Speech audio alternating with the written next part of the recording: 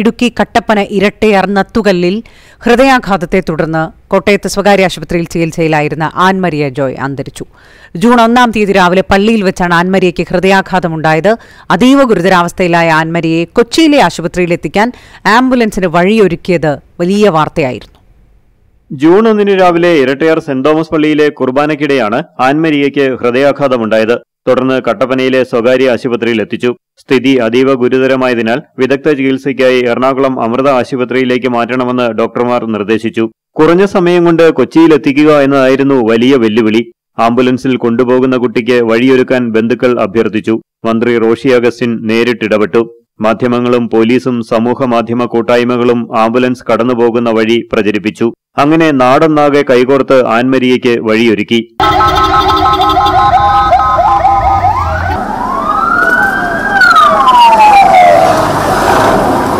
തടസ്സങ്ങൾ ഒന്നുമില്ലാതെ കട്ടപ്പനയിൽ നിന്ന് നൂറ്റി മുപ്പത്തിയൊൻപത് കിലോമീറ്റർ പിന്നിട്ട് രണ്ട് മണിക്കൂർ മുപ്പത്തിയൊൻപത് മിനിറ്റ് കൊണ്ട് ആൻമരിയയെ അമൃത ആശുപത്രിയിൽ എത്തിച്ചു.